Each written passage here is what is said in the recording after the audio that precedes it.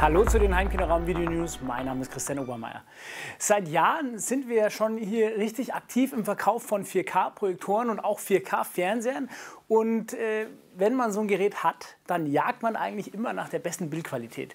4K-Material nach Hause ins Wohnzimmer zu bekommen, ist nicht ganz so einfach. Mittlerweile ist es aber leichter geworden bei den Smart TVs, bei den Fernsehern. Gibt es ja äh, integrierte Apps wie Netflix und Amazon, äh, die tatsächlich mittlerweile auch 4K-Inhalte äh, zeigen. Beim, bei einer Großbildprojektion, da wird schon ein bisschen schwieriger. Äh, da warten wir noch auf die UHD Blu-ray. Wie sich aber dieses Jahr zu IFA gezeigt hat, kann das leider noch ein bisschen dauern. Wir rechnen also erst, naja, wenn man ehrlich ist, in einem knappen Jahr mit richtigen äh, 4K-Content äh, in Form von einer UHD Blu-ray. Aber seit äh, letzter Woche Montag hat Amazon äh, uns das Leben da ein bisschen leichter gemacht mit ihrem neuen Fire TV 4K. So sieht der Kleine aus. Was steckt drin? Wir sind in der Lage, 4K-Inhalte zu streamen und zwar von Netflix und auch äh, über Inhalte, die Amazon hier bereitstellt. Damit das Ganze auch in 4K funktioniert, braucht man hier ähm, spezielle Anforderungen an die Hardware. Wir haben einmal ausgangsseitig hier ja oder als Quelle diesen Fire TV, äh, der auch den neuen Kopierschutz HDCP 2.2 unterstützt für die 4K-Ausgabe. Dann braucht man selbstverständlich auch die ganze Kette 4K-fähig. Man braucht also einen AV-Receiver, äh, durch den man das durchschleift, der dies unterstützt und auch äh, einen Projektor. Denn wenn man einen konventionellen Full-HD-Projektor hat, dann hat man auch nichts hier von der höheren Auflösung. Es wird also nicht vom Projektor runtergerechnet. Man braucht also wenigstens einen Projektor mit einem sogenannten 4K E-Shift, so wie zum Beispiel äh, der neue JVC X5000 oder der Epson LS10000. Idealerweise hat man dann ein natives 4K-Gerät von Sony. Äh, da geht es dann äh, los bei dem VW 320 bis hoch zum VW 1100. Ähm, wichtig ist auch, was man nicht unterschätzen darf, die Kabel. So ein 4K-Material ist schon eine ziemlich hohe Anforderung an ein HDMI-Kabel. Äh, ich kann also nicht hier das 0815-Kabel nehmen, das ich bei meinem 27p-Projektor verwendet habe. Da muss man unbedingt darauf achten, gerade wenn die Distanzen länger werden, wenn ich also sowas im Wohnzimmer vielleicht verlegen muss, ein, ein 10 Meter ähm, HDMI-Kabel, das sollte dann schon wirklich von höchster Güte sein. Was man auch wissen muss, muss Funksysteme, also Funkübertrager in dieser 4K-Auflösung oder UHD-Auflösung, die gibt es momentan noch nicht.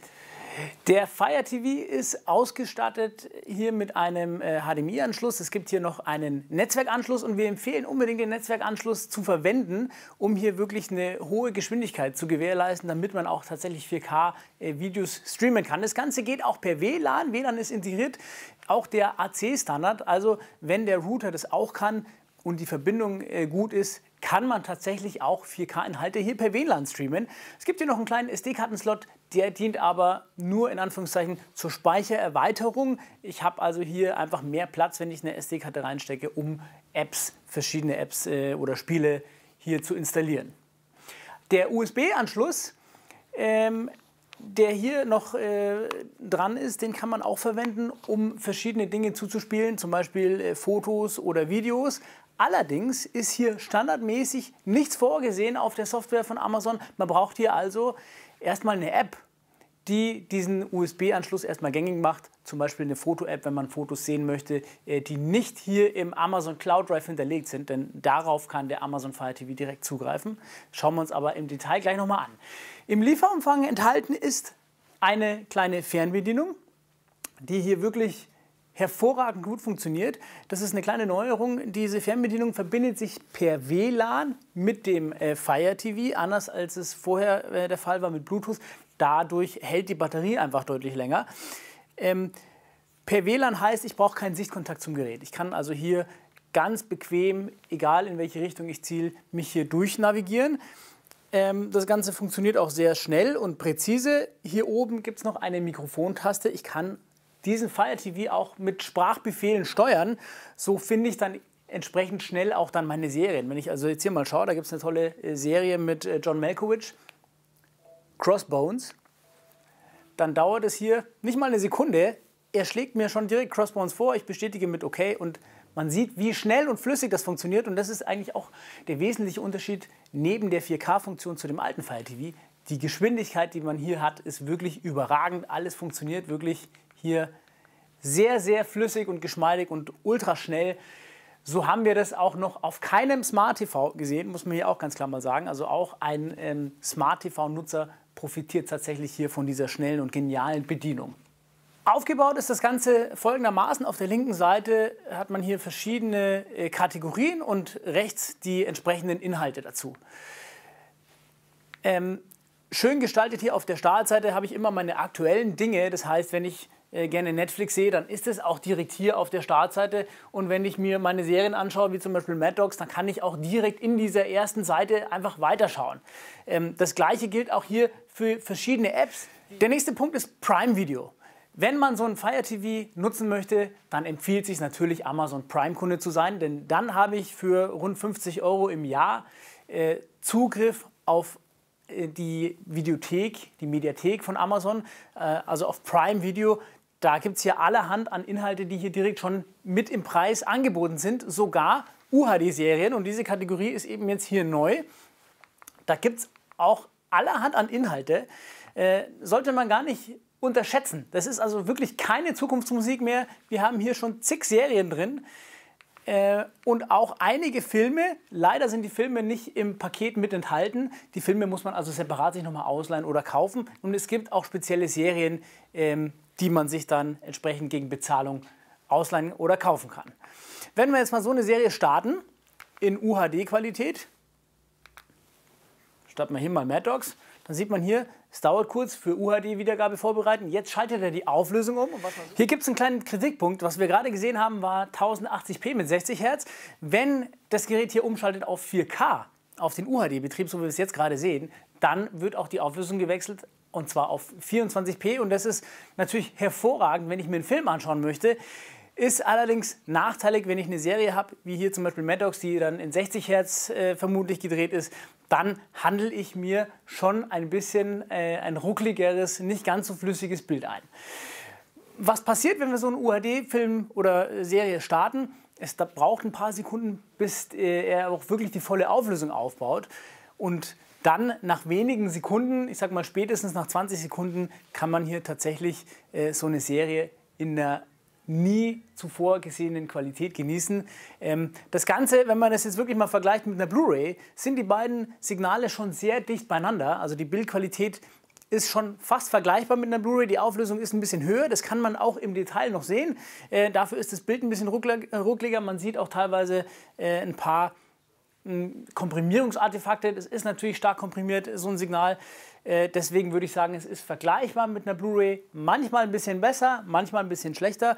Wer allerdings äh, sowieso Netflix und Amazon Prime streamt und den Full HD Stream kennt, der kann sich wirklich freuen, denn das ist hier wirklich ein Riesengewinn. Das hat nichts mehr mit dem Full HD Stream zu tun. Hier bekommt man wirklich eine überragende Bildqualität auf Knopfdruck ganz bequem ins Wohnzimmer. Neben den Serien gibt es hier auch noch verschiedene Filme. Und die Filme, wie gesagt, derzeit nur zum Kauf oder zum Leihen. Und hier langt Amazon schon äh, kräftig zu. Es gibt zwar wirklich eine große Auswahl, kann man hier sagen. Aber wenn wir hier mal reingehen, Captain Phillips, was Amazon hier aufruft, 25 Euro, um den Film zu kaufen. Den kann man jetzt nicht mal mehr leihen. Vor ein paar Tagen konnte man den noch ausleihen. Ähm, die UHD-Filme kann man, wie ja vorher schon erwähnt, nur leihen oder kaufen. Wenn man hier mal einen Film aufruft, dann sind die teilweise schon relativ teuer. Man sieht also 23 Euro und das dürfte so ziemlich das günstige sein oder 7,99 zum Leihen. Leihen bedeutet, ich habe 48 Stunden Zeit, mir den Film anzuschauen. Wenn ich also am Abend wirklich einschlafe, kann ich am nächsten Abend äh, den Film natürlich nochmal sehen oder weitersehen. Äh, Ghostbusters hier zum Beispiel ruft Amazon sage und schreibe 30 Euro ab für so einen Film. Das ist also schon ganz amtlich. Dafür muss man aber sagen, die Auswahl, die hier zur Verfügung steht, ist wirklich äh, gigantisch, wenn man sieht, dass ja UHD oder 4K Content hier noch voll in den Startlöchern steht. Da ist es hier schon sehr beachtlich, sogar Lawrence von Arabien, äh, Salt, was hier also verfügbar ist, Hut ab. Wir haben das Ganze hier mal anhand von zwei Beispielen getestet. Da gehen wir hier nochmal zurück. Und zwar ähm, zum einen bei Elysium und After Earth. Und wenn wir hier den Film mal starten, dann können wir wie man es gewohnt ist von solchen Streaming-Services, auch an der gleichen Stelle wieder fortsetzen, wo wir vorher aufgehört haben. Er sagt wieder UHD Wiedergabe vorbereiten, schaltet die Auflösung um. Wir haben wieder 24p, was für so einen Film ja essentiell wichtig ist, dass der in der richtigen Auflösung wiedergegeben wird. Dann dauert das Ganze ein bisschen und ich hoffe, man kann es sehen, die Qualität, die steigert sich dann immer Stück für Stück und irgendwann äh, nach ein paar Sekunden ist eben dieser UHD-Standard erreicht. Hier muss man aber auch sagen, was wir festgestellt haben, Elysium ist jetzt hier eher ein Schlechteres Beispiel, wenn man das vergleicht mit After Earth. After Earth, After Earth sieht hier wirklich überragend gut aus. Das kann man von Elysium leider äh, nicht behaupten. Da würde ich sogar sagen, sieht die Blu-ray einen Zacken besser aus. Bei dem zweiten Film After Earth, den wir mal zum Test äh, gekauft haben, da können wir schon sagen, das ist so eine Art Referenzfilm für uns, äh, wie die Qualität sein muss, denn da stellt Sony ja 4K-Content äh, zur Verfügung, den wir auch als Händler zeigen dürfen, äh, von einem speziellen Content-Generator von Sony. Und hier muss man sagen, dieses gestreamte UHD-Material ist eigentlich gar nicht mehr von dem äh, Material, das wir von Sony haben, von diesem Server äh, zu unterscheiden. Also das ist hier wirklich in einer hervorragenden Qualität und da sieht man auch, dass es auch hier, wie es äh, bei der DVD schon war, wie es bei der Blu-ray ist, wird es auch bei UHD-Content einfach Unterschiede geben. Manche Filme sehen einfach richtig gut aus, manche Filme sind weniger gut äh, gemastert. Also auch hier werden sich diese Unterschiede abzeichnen. Ein paar technische Details, die man noch erwähnen sollte. Es ist so, dass dieser 4K ähm, Amazon Fire TV 4K Player leider momentan nur zwei Auflösungen unterstützt und das ist 1080p mit 60 Hertz und eben UHD mit 24 Hertz. Das ist natürlich problematisch. Bei Serien hätte man natürlich immer gern bei amerikanischen Serien 60 Hertz, denn so sind die gedreht. Nur so kann ich wirklich ein flüssiges, ruckelfreies Bild gewährleisten. Ähm, bei deutschen Serien, wenn ich jetzt also hier Stromberg anschaue zum Beispiel, dann ist die in 50 Hertz gedreht. Da will ich eigentlich keine 60 Hertz haben. Ich habe aber keine Möglichkeit hier umzuschalten. Und das gleiche gilt für Filme. Wenn ich, die, äh, wenn ich mir einen Full HD-Film anschaue, dann wird er hier auch mit 60 Hertz ausgegeben. Das ist nicht optimal. Äh, man liest zwar in amerikanischen Foren, dass das im, in diesem Fire OS, also im Betriebssystem, vorgesehen sei, dass man die Frequenz umschalten kann. Dem ist aber leider nicht so. Äh, das gleiche gilt übrigens hier bei Netflix und äh, für die Amazon-Inhalte. Also auch bei Netflix starte ich einen 4K-Inhalt, dann wird dieser in 24p ausgegeben und alles andere in 60 Hertz. Hier können wir auch noch mal kurz reingehen bei Netflix. Da sieht man die App die startet auch relativ schnell und da können wir noch mal einen kleinen Blick riskieren, äh, wie es hier aussieht mit UHD-Content. Auch hier ist es so, Netflix produziert, äh, äh, produziert ja eine Serie nach der anderen und diese ganzen großen Serien sind eigentlich alle hier auch in 4K drin. Also wir haben House of Cards, Narcos übrigens sehr zu empfehlen, wie das ähm, Drogenkartell in Kolumbien entsteht, äh, Blacklist, Better Call Saul und so weiter und so weiter. All diese Dinge sind also schon in 4K erhältlich. Was den Ton angeht, hierüber sollte man vielleicht auch noch ein Wort verlieren. In den ersten Tagen oder in der ersten Woche war es gar nicht möglich, hier überhaupt einen vernünftigen 5.1 Sound rauszubekommen. Amazon hat hier aber nachgebessert. Seit, ich glaube, zwei Tagen gibt es ein Dolby Digital Plus äh, Upgrade der äh, Firmware, also des Betriebssystems und somit sind wir also auch in der Lage, ein vernünftiges 5.1 Signal hier rauszubekommen. Was leider nicht geht, ist äh, Dolby True HD und DTS HD Master. Diese Dinge sind nach wie vor nicht vorgesehen. Jetzt hat man also so einen 4K-Player, dann möchte man natürlich auch seine Fotos in der möglichst perfekten Qualität ja hier in sein Heimkino bringen, auf seinen Fernseher, auf, seinen, äh, auf seine Leinwand. Da ist es äh, gar nicht so leicht, denn die eingebaute Foto-App, wenn wir uns die mal hier anschauen, Fotos, die lässt wirklich hier nur die Fotos zu, die auf dem Amazon Cloud Drive gespeichert sind. Äh, alles andere kann ich hier gar nicht wiedergeben. Also auch wenn ich hinten einen USB-Stick ähm, reinstecke oder äh, versuche über die MicroSD-Karte was zuzuspielen, funktioniert alles nicht. Ich brauche hier zwingend eine App und da gibt es hier den App Store. Ähm, da kann ich mir dann verschiedene Dinge kaufen. Na, kann man hier auch nach Kategorien, äh, glaube ich, sortieren. Hier sind wir, Unterhaltung. Ah. Gestern waren noch Fotos drin. Hier gibt es also die Kategorie Fotografie und ich muss mir also hier entweder so eine kostenlose App downloaden oder eine kaufen. Die sind auch gar nicht teuer, diese Apps. Aber wir konnten hier noch keine finden, die wirklich dann äh, die Inhalte in 4K ausgibt. Also hier gibt es einige Apps, die greifen vielleicht auf ein ähm, Google Picasa-Album zu äh, oder auf ein SkyDrive von Microsoft, äh, Dropbox etc. Ähm, das funktioniert alles, aber die Ausgabe erfolgt immer in 1080p. Äh, ich hoffe, dass wir hier auch bald mal eine App finden können, die es uns ermöglicht, die Fotos in dieser brillanten UHD-Qualität zu zeigen. Neben dieser klassischen Foto-App kann man hier selbstverständlich äh, uneingeschränkt auf den App Store zugreifen. Und da gibt es natürlich hier tausende Apps ähm, von, von Yoga-Übungen über äh, Kinderdinge, äh, Spiele, Musik etc. Äh, was man hier auch noch wissen muss, ist, zum Spielen gibt es einen separat erhältlichen Game-Controller. Es gehen die alten Controller, äh, die, die, Amazon hier zur Verfügung stellt, oder eben auch die neuen, die dann noch mit so einer Sprachsuche ausgestattet sind. Äh, und dann kann man hier, wenn man möchte, vernetzt übers Internet mit seinen Freunden auch mal eine Runde zocken. Alle Dinge, die man hier kauft im Amazon Store, die landen hier in der Bibliothek. Da sind jetzt also unsere beiden Testfilme drin. Ähm, die kann man sich dann auch auf sein Tablet oder auf sein Smartphone runterladen, allerdings dann nicht in UHD, die werden dann in äh, Full HD Qualität, so wie wir das äh, momentan sehen, runtergeladen. Da kann man die auch natürlich mit in Urlaub nehmen. Dann gibt es hier noch die Spiele. Und dieser Fire TV ist schon ziemlich leistungsstark, wenn man auch mal sieht, wie winzig klein der ist. Äh, hier gibt es also schon allerhand äh, lustige Spiele, die man hier ausprobieren kann. Äh, es ist Klar, keine PlayStation 4, die hier mit mordsmitzig äh, Prozessorleistung und Grafikleistung ausgestattet ist, aber äh, vom Spielspaß finde ich schon, dass hier einiges geboten ist. Äh, zum Beispiel Crossy Road. Ähm, man kann hier steuern über die mitgelieferte Fernbedienung.